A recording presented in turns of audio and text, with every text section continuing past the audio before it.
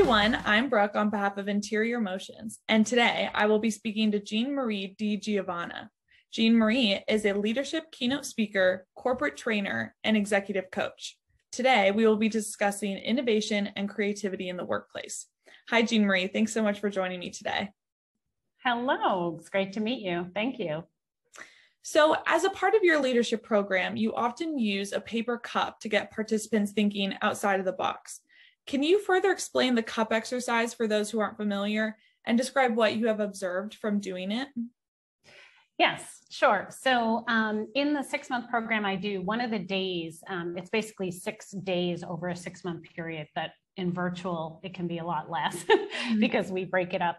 But um, one of the exercises I do is uh, a, a, very common improv exercise where we take an object. I happen to use a coffee cup because it's typically what is at my client site.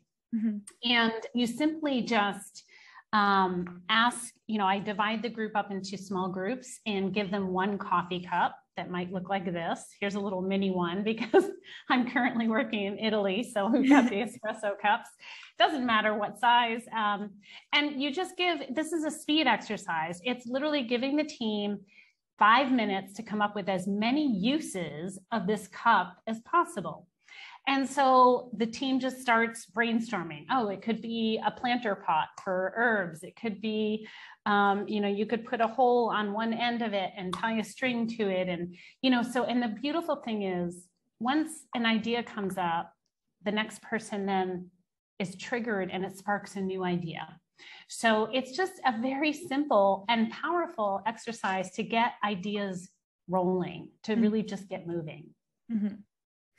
So, why do you think it's important for businesses to prioritize creativity and innovation? Well, first and foremost, um, I actually feel that innovation is going to be, if not already is, a competitive advantage right now um, for companies who innovate, which is different. Creativity inspires the innovation. And so um, the more that we can think out of the box, that we can think about how we do things differently, the faster we can advance and we can not only su- uh, support new uh, programs for our employees, but also new products and new ways of working with our clients. Mm-hmm. Do you have any other pieces of advice for leaders trying to evoke creativity in the workplace? Um, yes, I have a couple of other fun exercises that are so short. Um, literally, uh, if you have a dictionary nearby, I know it sounds kind of odd, but if you literally open up a dictionary or any book that's nearby, point your finger to a word, and take whatever challenge you're facing right now and apply that word to the challenge. And it's called forced connections. When we force two things that are completely opposite, it, it rewires our thinking and helps us think differently.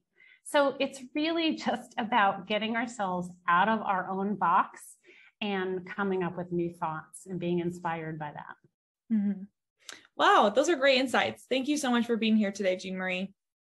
My pleasure. Thank you.